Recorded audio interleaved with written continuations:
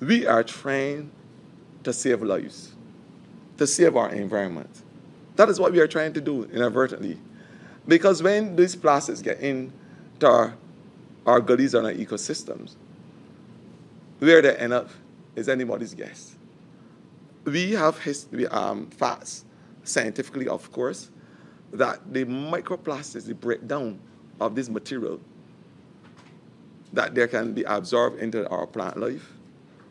And you know, everybody in Barbados know um, that Barbadians enjoy their fruits.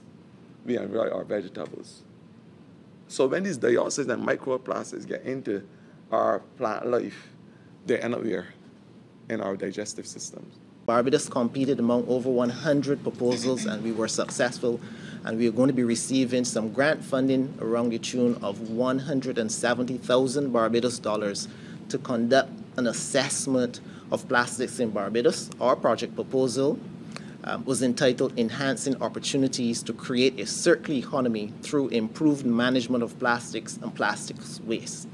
The intent behind this particular proposal is to look at all of the plastics the island and do what is known as a material flow analysis to allow us to understand in more detail the volumes of plastics that are imported into the island, the distribution of those plastics, and how those plastics get into the waste system.